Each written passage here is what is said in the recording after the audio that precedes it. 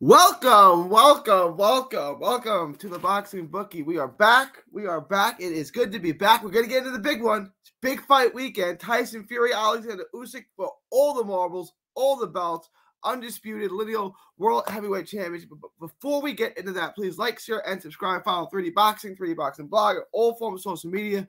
The Boxing Bookie comes at you for every single major fight. So you how to bring down the house and consistently make money betting on the sport of boxing. Uh, join the Patreon. Link is in the description. You can also find it below right there. Uh, hit another uh, lock last week. We're hitting the locks every single week now. We're hitting locks every single week. Uh, we hit our lock of the week. Uh, make money. It's just five dollars a month, so it makes you way more than it'll ever cost you. Uh, it doesn't matter how little you bet, really. I mean, we're making money on these locks. Last week's lock was was easy money. This week's will be easy money. They're all easy money. Join the Patreon. Link is in the description. Also, uh, follow my other channel, Texas Boxing Scene on YouTube. That's Texas Boxing Scene. All proceeds go to autism research and recovery. Now, Tyson Fury. Uh, I feel if this fight would have been prior to the Ngannou fight, Fury would have been a prohibitive favorite. Now, everyone saw what Fury did. He struggled. He got dropped. He had issues. Uh, then he got Ngannou got blown out by Anthony Joshua. And I think the momentum has shifted on Fury. I was going to pick Usyk to win regardless. If you guys have followed me for any amount of time, I've been saying this for years that Usyk will, will run the heavyweight division. And I find that this is going to be interesting. This is going to be a really, really interesting fight. Fury is on the decline, and it shouldn't be shocking to people, right? He's 35 he's not a guy that's taking care of his body. He's not. I, I understand that he's a year or two. I think Usyk's 37. So he's a guy that's a little younger, but he's not a guy that's taking care of his body, his diet. The guy drinks diet coke all day. He's done cocaine. He's drinks all the time. He's been he's overweight.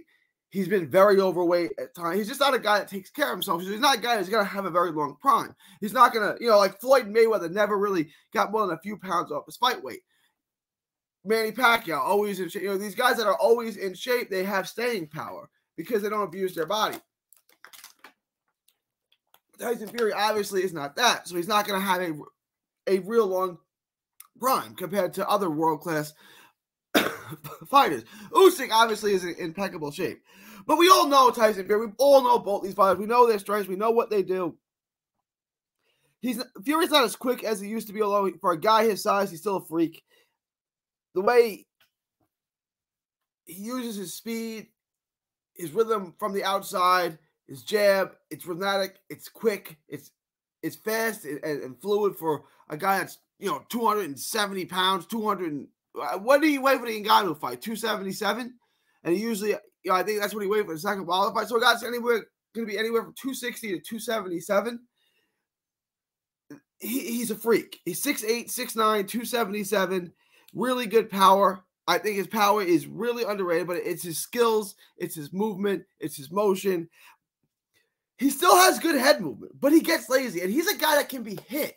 Right? He's been dropped by Ngannou. He's been dropped by Wilder four times. He got dropped by Steve Cunningham, a cruiserweight.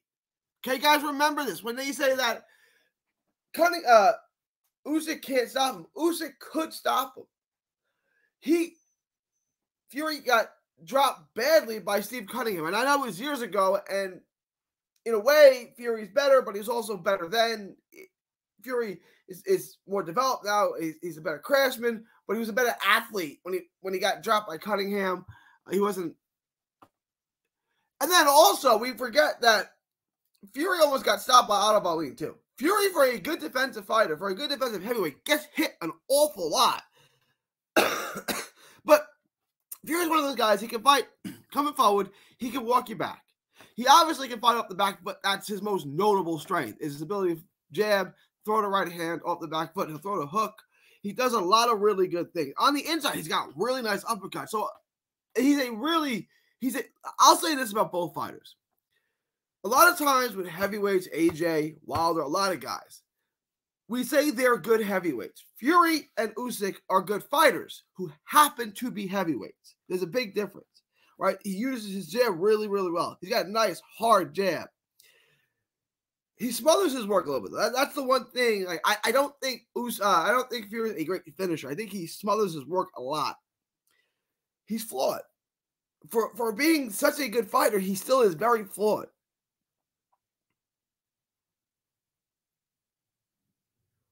Gets caught a lot.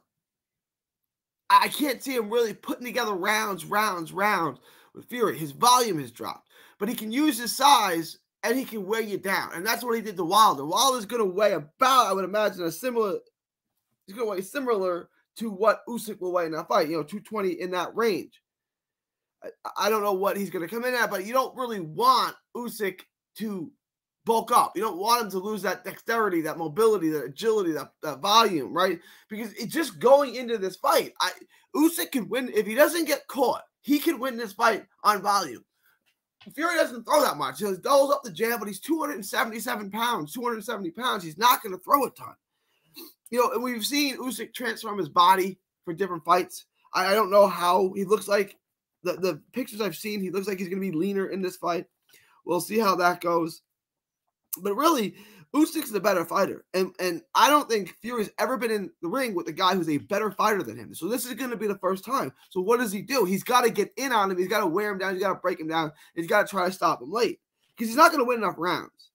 The one thing I would say about Usyk is he he has a tendency at times to start slow. I think he needs to pick up the pace.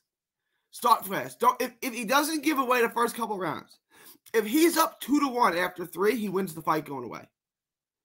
If he can get Fury fighting from behind, Fury's not going to win his fight because now Fury needs to start winning rounds. He can't win rounds, right? He is throwing off Usyk's angles are too good. His combination, he's Usyk is such a good combination puncher. He mixes up his tempo, he mixes up his cadences, he does everything so well. He, he mixes up levels, head, body, head, body.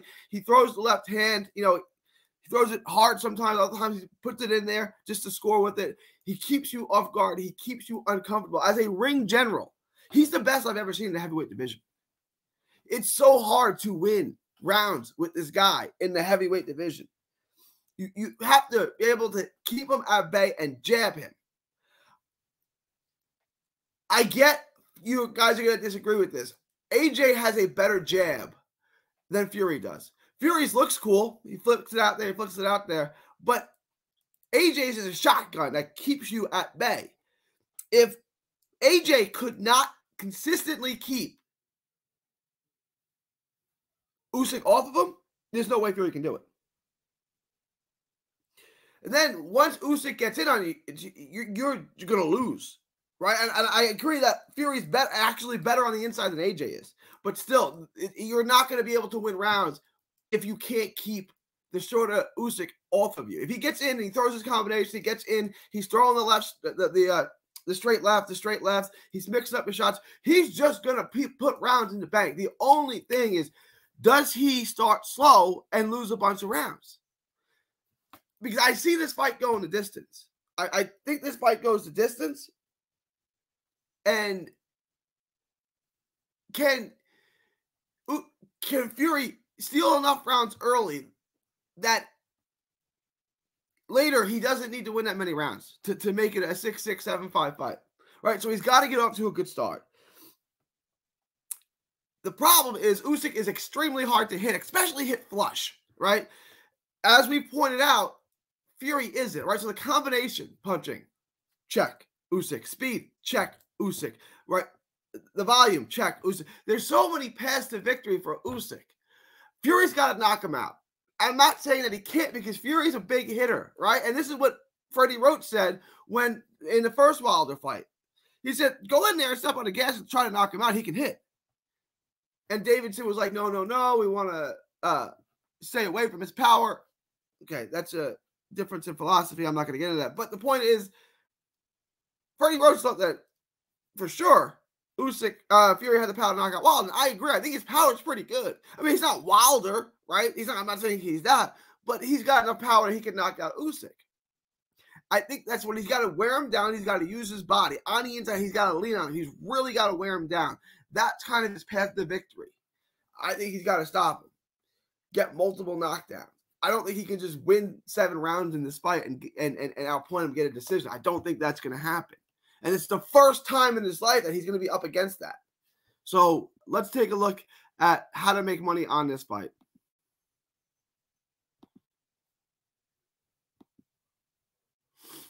Here's what I got. The odds. Tyson Fury is minus 120. Usyk is plus 100, which means he's even money. So I like Usyk at even money. I like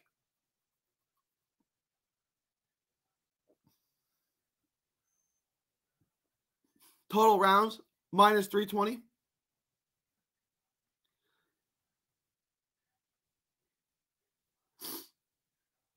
So do our normal whatever your one times bet is, 100 bucks on each one. Usyk and Fury both 10 and a half, uh, both 100. We like the over 100 and we like Usyk up plus 100. So the $200 bet is going to make us 131.25. It also, like, I think there are two ways this fight can end.